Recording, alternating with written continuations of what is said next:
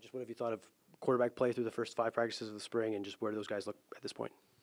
Yeah, they're all. Uh, I think all four of them are improving. Um, you know, for two of them, it's their second year in the system now, so I, you would expect improvement, better understanding after a whole off season of studying yourself. Um, but yeah, there's a there's a healthy competition in the room, and I think uh, it's a it's a deep room. So we'll just let it play out. Just With the uh, the defen- uh, defensive line, just with the experience that you have coming back, the talent there, the depth, what's kind of your outlook and your assessment for, for what you believe that potential could be? Yeah, we need to we need to improve on what we did last year. We didn't play up to our potential last year, not even close. So we need to have a better pass rush with just the three and four man rush. You know, we can't have to dial blitz up all the time to create pressure. Uh, we have talent and we have some depth. We need to really coach the heck out of it. Uh, guys got to work hard, and then we'll have a chance to play a lot of people, rotate the way we like to do it in waves.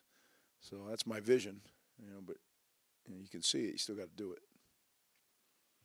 Reggie Sutton was a, a great, remarkable comeback story last season. Uh, he's back this year, looking to cement himself and I guess improve. Uh, what have you seen from Reggie so far, and what what have you told him about uh, you know what he can achieve this season? Well, Reggie chose to come back, and he just loves playing, and he loves being with his teammates.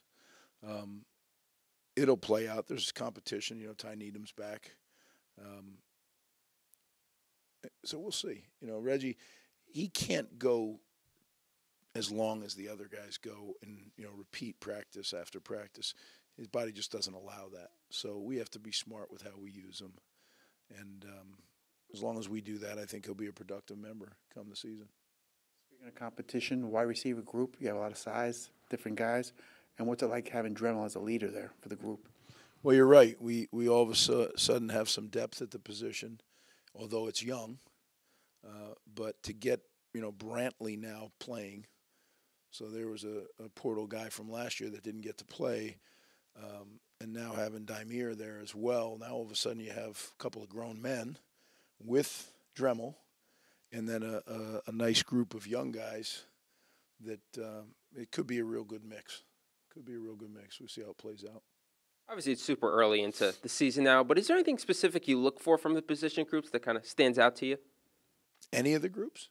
Just, well, I guess specifically quarterback. Yeah. Well, I, I addressed the quarterback. Um, you know, certainly we have to improve on the O line. That's a that's an always thing, and it's the hardest thing. It takes the most time. It's the most number of players. So not only do you have to improve over time, but you have to do it with the most amount of people. So the sheer, you know, five elevenths have to get better. Um, the tight end position, we're figuring it out with guys that aren't very experienced but are very talented.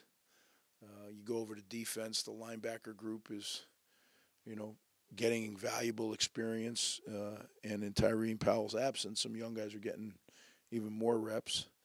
The secondary is a little bit challenged um, with depth. We have young guys that are going to have to really step up and become players.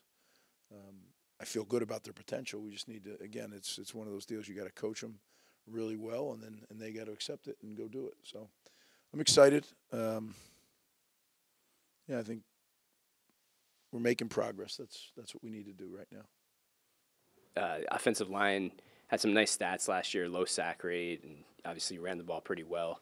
Um, where do you think the offensive line stacked up last season in, in comparison to the rest of the conference? And do you feel like the offensive line, you know, is, is really at that Big Ten ready to go pound the ball kind of level?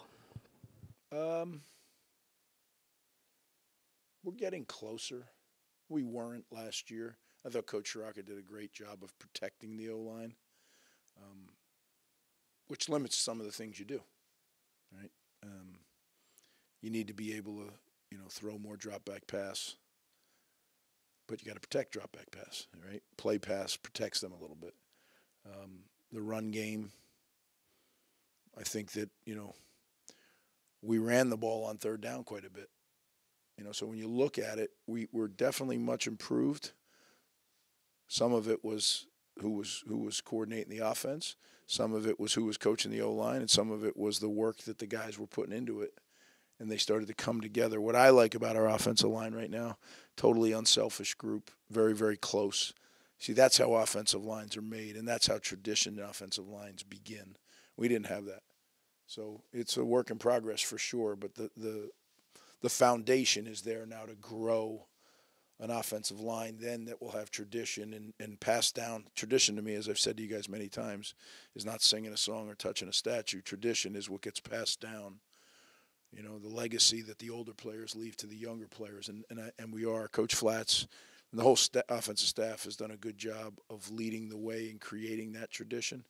And it's starting to uh, it's starting to come together. So long term it's going to be good. It's just, but you know, it's hard to grow an O line and, and to, to grow an O line in a program that consistently is there. It's probably the hardest thing. I know it's still very early, but how do you feel like Kenny Fletcher is adjusting to tight end, and, and kind of where's his ability as a as a blocker right now? Yeah, he is uh, adjusting well. He can do everything. He just needs to learn how to do everything every play, and he needs to learn what those plays are every play. But there's nothing that kid can't do. He's he's uber talented. He's tough. He's up to 240 something pounds. I mean, he's he's what you look for. I have a couple, couple quick ones if you don't mind. Uh, to circle back, be the two, I assume. well, I don't want to steal anybody else's too. two, yeah. I don't steal anybody else's questions, but uh, back to quarterback. You mentioned the two guys who come back from last year with Ethan and AJ. Are there? I know it's the early days of spring. Have they either of them done anything that have surprised you positively? Have you seen anything from them that maybe you weren't expecting or about their level of play? Any, anything they've done in practice early on? Well, Ethan, I saw do things in Big Ten games, so it's not really a surprise. I think he's doing well, but it's not a surprise. AJ, I only saw play in high school, and yes, he's he's pleasantly surprised me. I mean, AJ's a really fine young quarterback prospect. I'm very excited about him. So, like I said, I'm encouraged with the room. You know, starting up there with Gavin and, and going all the way through. Uh, Johnny, who was here, um, you know, it's it's a it's a it's a good room, and uh, I think they got a good chemistry in there too. Coach Ciarrocca does a real good job of kind of blending them together. And yes, there's a competition, but they you know you watch them; they help each other all the time. I mean, that's what that's what family is about. Tangentially Related to the program, Tim Pernetti, former AD at Rutgers, named the commissioner of the AAC. Just your reaction to that and seeing Tim get a position that I know he's always wanted to be a commissioner. For him to get that, what is it? What is it like for you to see that? Yeah, I'm thrilled for Tim. Uh, Tim's family and my family, we go back, heck, 50, 50 years probably, right? So I've known Tim. I've coached Tim as a high school player. I coached Tim as a college player. And then Tim was my boss as the AD here, right? So uh, thrilled for Tim. I think he's going to do great things for that league. And I'm really happy for he and his family because they're just great people. Sam Brown should have appeared to show a bit more burst as the season went on last year. D- has he shown anything so far this season that you know continuing the the trend? Yeah, in fairness to Sam, he was recovering from a pretty severe foot injury. So I think as he just got more confident and that foot felt better, I've had guys that have had that same injury, and it literally is a whole year before you're back to feeling like yourself. So I think you just saw Sam feel better and better and better as the year went on, and that that showed in his play. Yeah, he's he's done some nice things already this spring. He's he's certainly a good running back, really good. All right, thanks guys. Have a great weekend.